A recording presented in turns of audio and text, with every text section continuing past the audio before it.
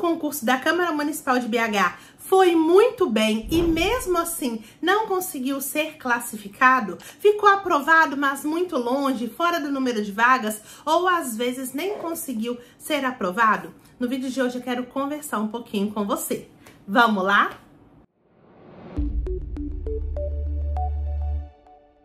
Olá, Thaís Silva por aqui, seja muito bem-vindo ao meu canal. Por aqui você encontra diversas dicas de preparação para concursos públicos. E no vídeo de hoje eu quero conversar com você que fez o concurso da Câmara Municipal de BH, que mandou muito bem, mas que não conseguiu. Infelizmente não foi dessa vez. Eu já gravei um vídeo parecido aqui e eu resolvi gravar esse de novo, porque na última semana eu até soltei para vocês a informação de que o concurso já foi até homologado. Um concurso express, muito rápido e que em breve quem passou já vai ser nomeado, tomar posse e entrar em exercício no cargo público.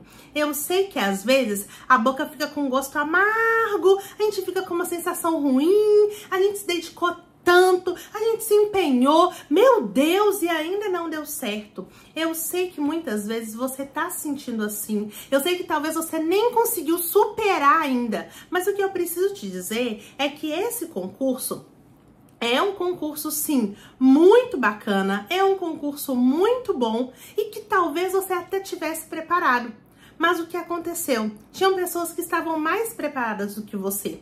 E por que, que eu tô te dizendo isso? Porque eu percebi e eu vi várias pessoas que tiveram pontuações incríveis, pontuações muito boas, dizendo que estavam muito mal existe a diferença de você estar mal e a diferença da sua nota não ser suficiente porque teve pessoas que foram melhores. Não é porque tem pessoa que tirou 59 em 60, teve pessoa que tirou 57 em 60, que você que tirou 52 em 60 tá mal. E às vezes a gente é perverso com a gente mesmo. Quando a gente começa a acreditar que realmente a gente não tá bem, que a gente tá muito distante da aprovação. 52 em 60 é muito bom. 50 em 60 é muito bom. Talvez não seja suficiente. E é essa a diferença que é tênue. E eu gostaria de trazer esse discurso para você hoje.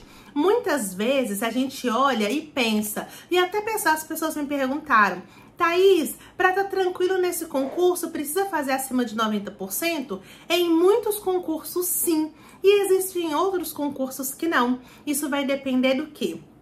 Do grau de dificuldade do concurso, do de qual órgão é, do quão atrativo esse concurso é e principalmente da qualificação ou não da concorrência. Uma prova muito fácil com candidatos muito bons, nota de corte alta. Uma prova muito fácil com candidatos não tão qualificados ainda, a nota de corte nem vai ser tão alta assim. Um concurso difícil com candidatos qualificados também não vai gerar nota de corte alta. E um concurso difícil com candidatos que não estão bem preparados vai gerar, inclusive, sobrando, vai ficar sobrando vaga ali dentro do que estava sendo previsto inicialmente no edital. Existem, pessoal, muitas nuances, existem muitas condicionantes e determinantes que vão fazer a flutuação acontecer. Por isso que é preciso a gente fazer as análises de forma individual, analisando cada concurso, a banca, a quantidade de matérias, se são matérias básicas ou não. Eu, inclusive, já tinha trazido isso para vocês no concurso da Câmara Municipal de BH, para o cargo de técnico, foram cobradas matérias que são cobradas na maioria dos concursos. Tirando matérias específicas, legislações próprias, era mais do mesmo. Então é óbvio que nós tínhamos pessoas que já estavam estudando há muito tempo essas matérias e que direcionaram para o Instituto Consulplan. E aí vem o resultado. O que eu tô querendo te dizer é que mesmo que você não tenha sido aprovado ou aprovada, ou você foi aprovado ou aprovada, mas você não conseguiu ficar classificado ou classificada dentro do número de vagas,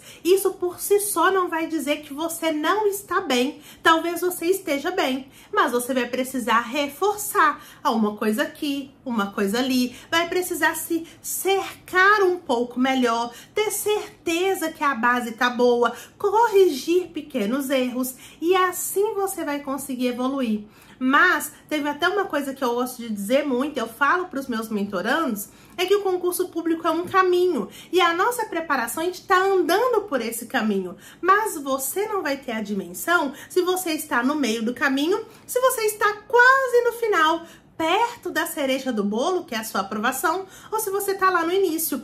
E você que está fazendo uma nota muito boa, 50 em 60, 52 em 60, 53 em 60, 48 em 60, você está caminhando. E o fato de você tá caminhando e estar evoluindo mostra que você está quase chegando lá. E mesmo que não tenha sido dessa vez, não quer dizer que você está muito distante. Se você desanima, se você para, se você desacredita, você começa a regredir. Existe um momento no caminho que você só para. E quando você não revisa, não tem contato com conteúdo, para de estudar, você começa a andar para trás. E aí sim você está regredindo, você está perdendo tudo aquilo que você adquiriu de conhecimento. E isso sim é um problema. Ficar triste é totalmente normal. Eu também já fui reprovada, eu também já fiquei triste, eu também já achei que eu não era capaz. Mas é muito importante a gente conseguir perceber e fazer análise daquelas pequenas vitórias, da gente conseguir olhar para o nosso resultado e ver: nossa, realmente teve gente que foi melhor que eu, mas olha o tanto de gente que está embaixo de mim.